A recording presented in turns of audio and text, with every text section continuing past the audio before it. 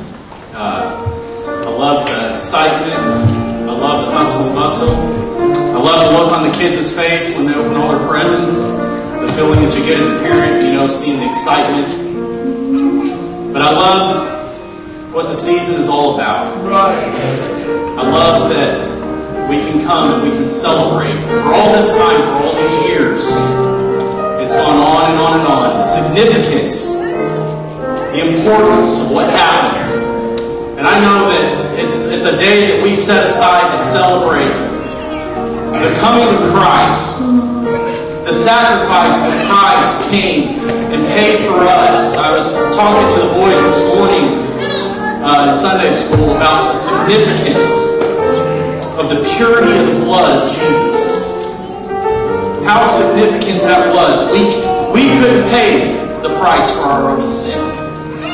We was lost. We was in need of a Savior. And God so loved us. He cared so much for us that He was willing to pay that price.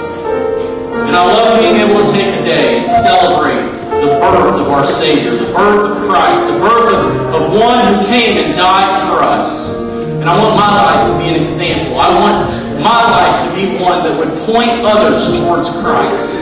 So many times I fall, so many times I fail, but I want my life to represent Him. Amen.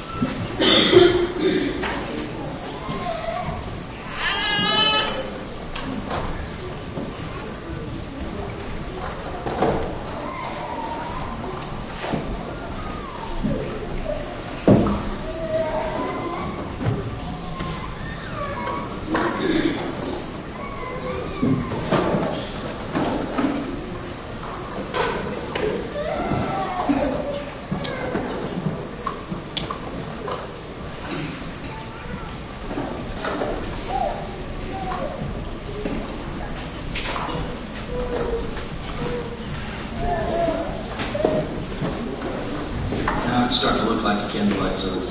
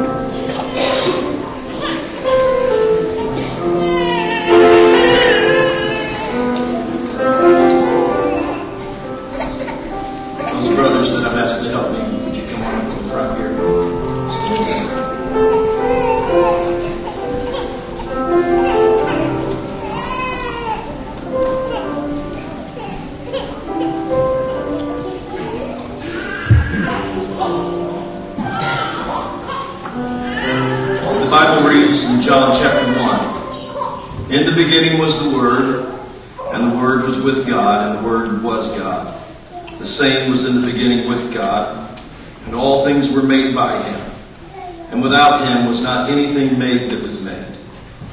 In him was life, and life was the light of men. And the light shineth in darkness. And the darkness comprehended it not.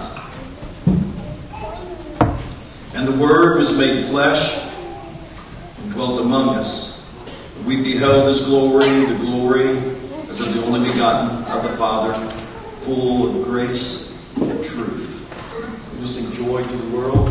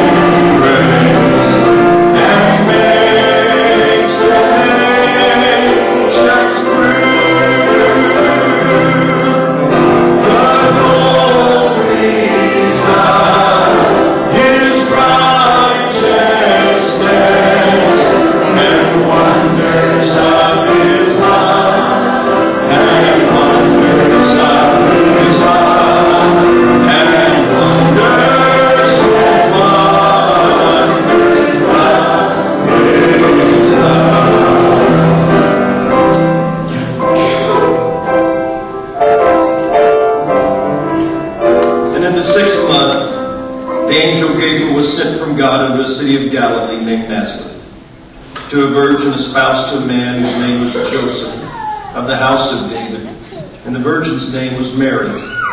And the angel came unto her and said, Hail, thou that art highly favored, the Lord is with thee. Blessed art thou among women. And when she saw him, she was troubled at his saying, and cast in her mind what manner of salutation this should be. And the angel said unto her, Fear not, Mary, for thou hast found favor with God. And behold, thou shalt conceive in thy womb and bring forth a son, and shall call his name Jesus. He shall be great, and shall be called the Son of the Highest. And the Lord God shall give unto him the throne of his father David. And he shall reign over the house of Jacob forever, and of his kingdom there shall be no end. Then said Mary unto the angel, How shall this be, seeing I know not a man? And the angel answered and said unto her, The Holy Ghost shall come upon thee, and the power of the highest shall overshadow thee. Therefore also that holy thing which shall be born of thee shall be called the Son of God. And behold, thy cousin Elizabeth, she hath conceived a son in her old age, and this is the sixth month with her, who is called barren. For with God nothing shall be impossible. And Mary said, Behold, the handmaid of the Lord, be it unto me according to thy word. And the angel departed from her. And Sister Tammy, I'd like for you to make your way up to get ready to sing. In our Sunday school class today, we were talking about the character of Joseph and Mary, and the, their, what character they were. Uh, Mary, what I read about Mary that phrase there, be it unto me according to thy word. Says so much about her character. But I also want to look at that verse that says, For with God nothing shall be impossible. Now, do you think about the miracle of the incarnation? Miracle that a virgin would conceive and bear a child.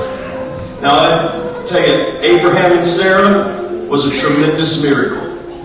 But it is nothing compared to the miracle that took place with Mary. What happened with Hannah and her giving birth to Samuel? That was a miracle, a great miracle. But nothing compared to the miracle of Mary. When you think about it, when you think about Zacharias and Elizabeth, that was a miracle. It was the miracle of God, but it, can, does, it has it cannot compare to the great miracle of Mary that a virgin would conceive and bring forth a child. Amen. What a tremendous miracle.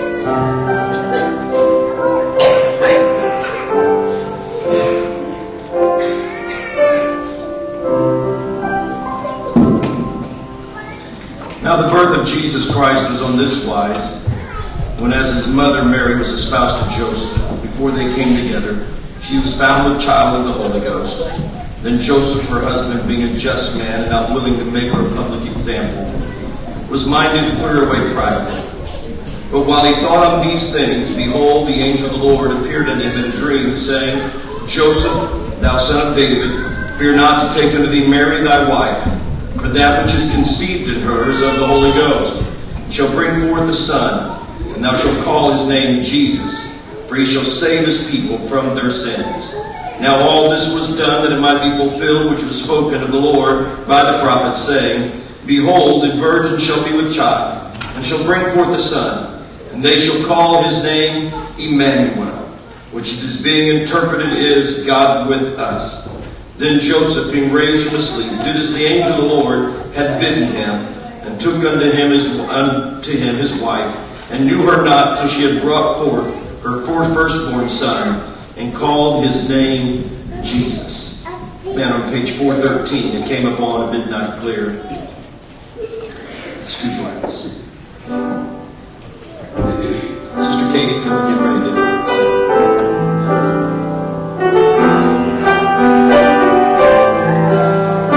It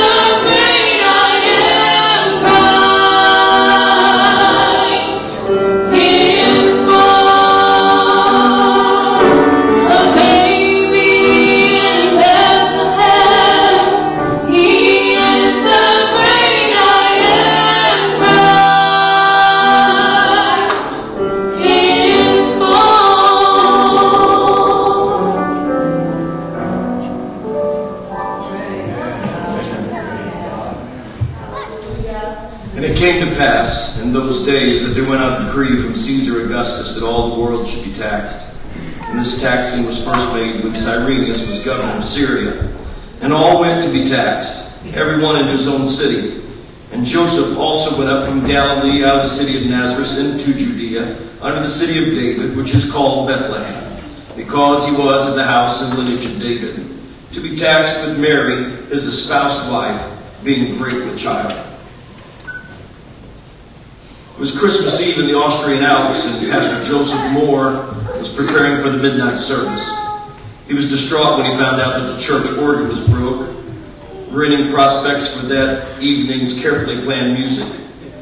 But Pastor Mohr was about to learn that our problems are God's opportunities, and that the Lord causes all things to work together for good to them that love Him. It came to pass, came to Pastor Mohr's mind to write a new song, one that could easily be sung without an organ. Hastily he wrote the words, Silent night, holy night, all is calm, all is bright. Taking the text to his organist, Franz Gruber, he explained the situation and asked friends to compose a simple tune. That night, December the 24th, 1818, Silent Night was, was sung for the first time as a duet accompanied by a guitar. 200 years ago, tomorrow, Silent Night. Silent Night. Can we sing it tonight?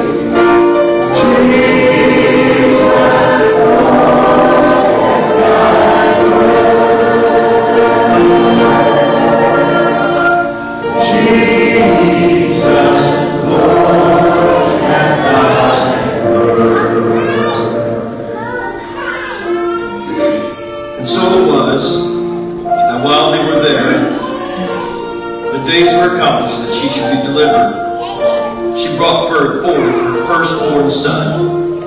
She wrapped him in swaddling clothes and laid him in a manger because there was no room for them in the inn. Away of Nahum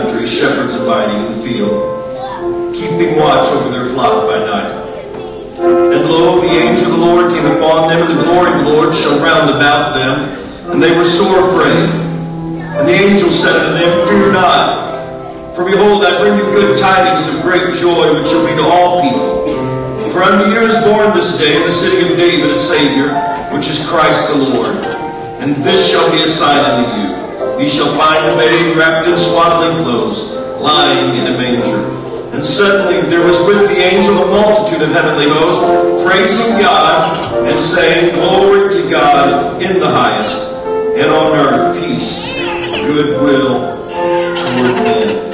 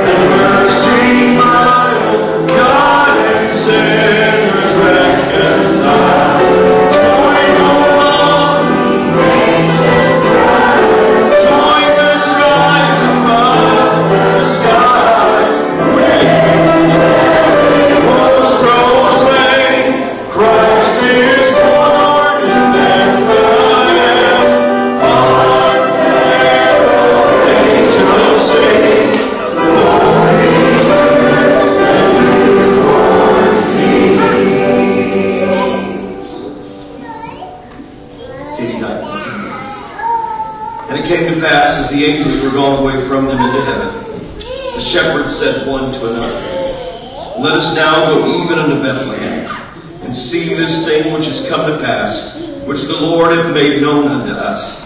And they came with haste and found Mary and Joseph and a babe lying in a manger. And when they had seen it, they made known abroad the saying which was told them concerning this child. And all they that heard it wondered at those things which were told by the shepherds.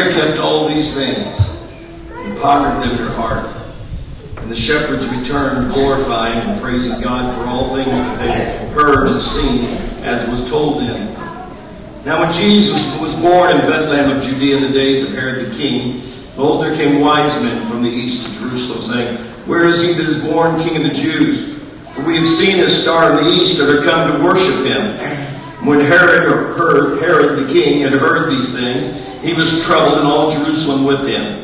When he had gathered all the chief priests and scribes and the people together, he demanded of them where Christ should be born. And they said unto him, In Bethlehem of Judea. For thus it is written by the prophet, And thou, Bethlehem, in the land of Judah, art not the least among the princes of Judah. For out of thee shall come a governor that shall rule my people Israel. Phillips Brooks, the author of A Little Town of Bethlehem, is considered as one of the great preachers in American history.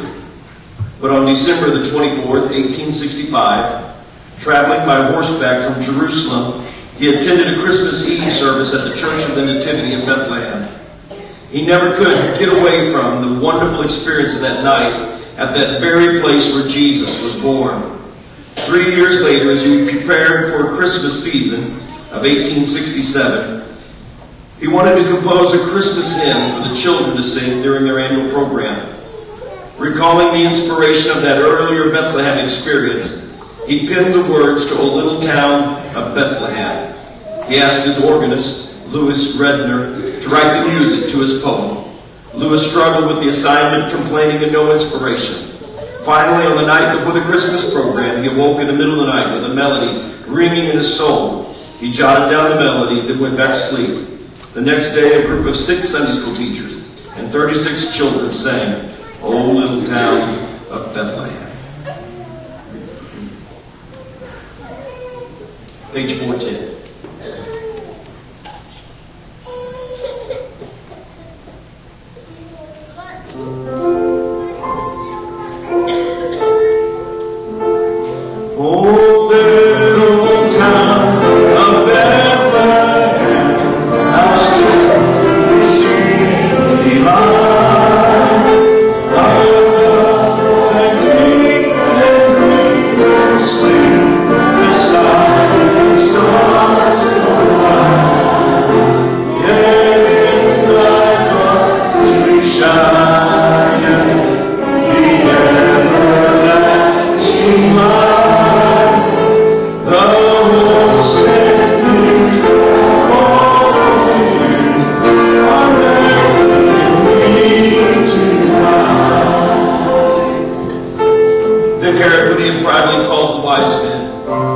Inquired of them diligently what time the star appeared.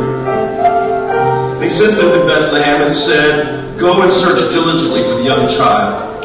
And when ye have found him, bring me word again that I may come and worship him also.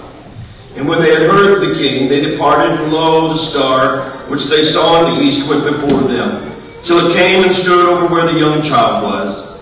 And when they saw the star, they rejoiced with exceeding great joy. And when they were come into the house, they saw the young child with Mary his mother, and fell down and worshipped him. And when they had opened their treasures, they presented unto him gifts, gold, frankincense, and myrrh. And being warned of God in a dream that they should not return to Herod, they departed into their own country.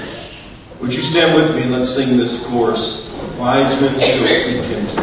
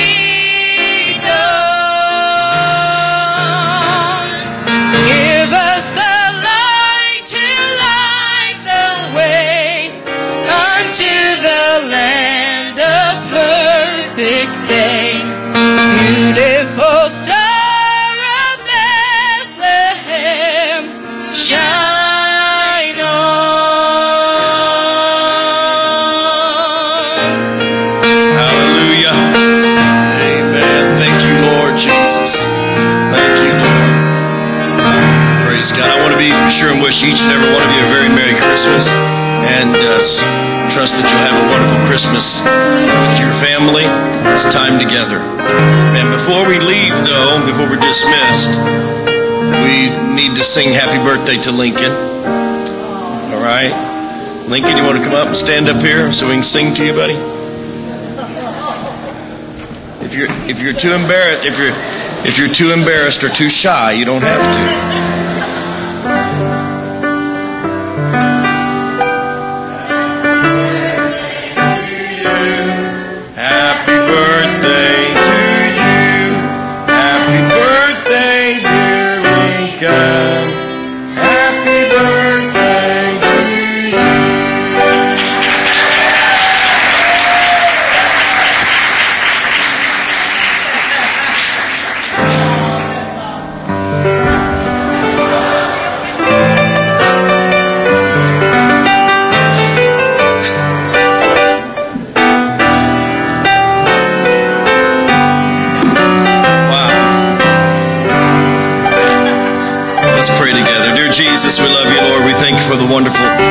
Season that we have together, Lord, to celebrate the birth of our Savior. God, we pray, Lord, that you bless each family. God, bless them with wonderful presence of the Lord during this season. God, I pray, Lord, God, that you would just let your presence be felt among us. God, as we share the Christmas story one with another and among our families, God, I pray just let your presence be there. I pray, Lord God, that you would speak to lost loved ones during this Christmas season, to backsliders, Lord, during this Christmas season. Let them have an understanding of Jesus Christ. Amen. And what the Lord would like to do in their life during this Christmas season. And we'll give you the praise in Jesus' name. Amen. Bless you today.